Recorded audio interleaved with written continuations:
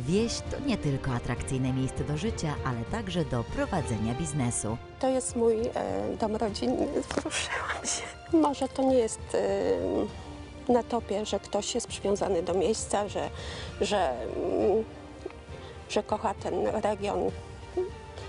No to jest A ja, a ja jestem chyba staromodna. Ja też się wzruszyłam. Z klimatem i z pasją. Niedziela, Polsat News, 16.30.